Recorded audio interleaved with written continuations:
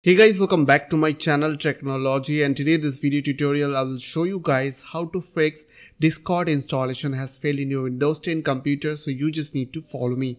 So first of all you need to go to your task manager so for that you need to right click on taskbar and click on task manager.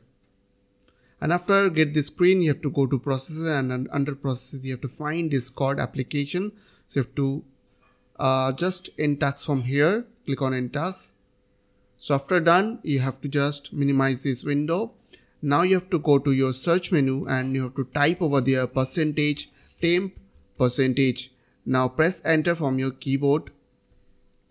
Once you have get this temp uh, folder window now you have to select all the files from here and press shift delete from your keyboard.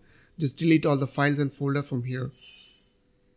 Okay so after done what you have to do? Now you have to close this window. Now again you have to go to your search menu.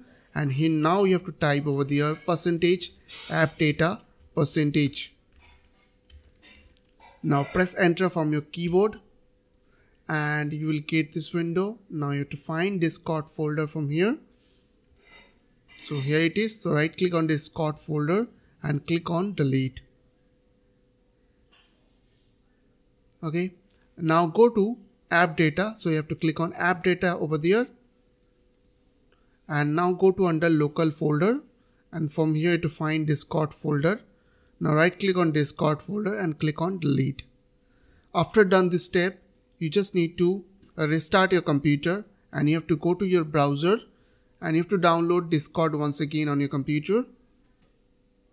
And click on download for windows and after that you have to install on your computer and it will fix your problem. So I hope this small video will really help for you and please don't forget to click on the subscribe button, like button and share button and if you have any queries or questions then comments down below. I will see you guys on the next one next video. Till then bye bye take care.